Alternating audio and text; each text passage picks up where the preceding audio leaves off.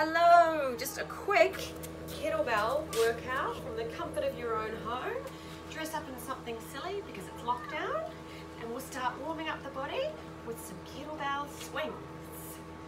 I've had a friend contact me today saying her hamstrings are feeling lazy and wanted to bust into some leg workouts. So this is not just for your hamstrings, but for your uh, quads and your glutes and your core, probably your whole body. I'll go it from the side so you can see some side action. You can see, even with a whole lot of kid stuff around, you don't actually need that much space. When you swing the kettlebell, really flick the hips forward. Yeah? Nice little squat there to warm up. Oh, doesn't take much, does it? If you have a few days off, we'll go into a lunge. Hold the kettlebell nice and close to my chest. I think this was her point when she contacted me. A few days off and already starting to feel like your body's falling apart. So the point is, keep it up even if it's only 5, 10, 15 minutes a day. If you've got the kids banging down the other side of the door, trying to interrupt your workout, you can still get a little something achieved. Mama. Mama. Mama.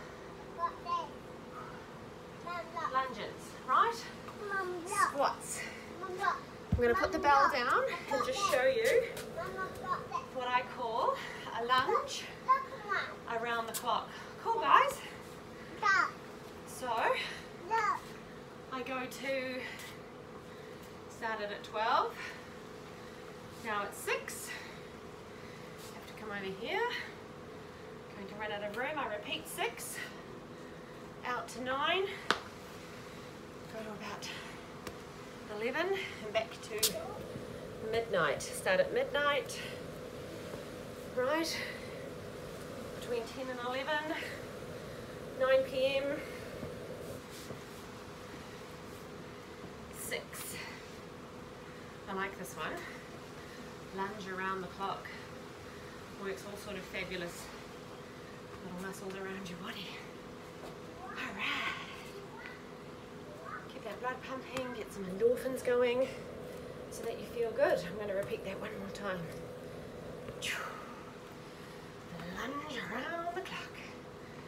Do you like my snazzy sporty gears? Ooh. Six. Watch out for the concrete mixer. Just space it out a little bit. Always keep your knees over your feet. Don't overextend. You can go in front of the toes. Okay. Gotta mix things up. Try and keep things a little bit light during lockdown. What is it, week three? Four? Who knows? Stop counting. Okay. What do we do now? Some burpees? Keep it easy.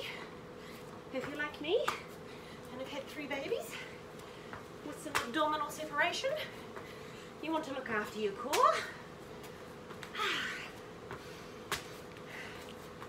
Also, we're trying to work within the fat burning zone, not a high cardio zone. So I don't actually want my heart rate to go too high. But you can go harder and faster if you want to. How's that? Two, three, four fetal exercises to get you going. From your friend Sarah, PT, take it easy. Enjoy.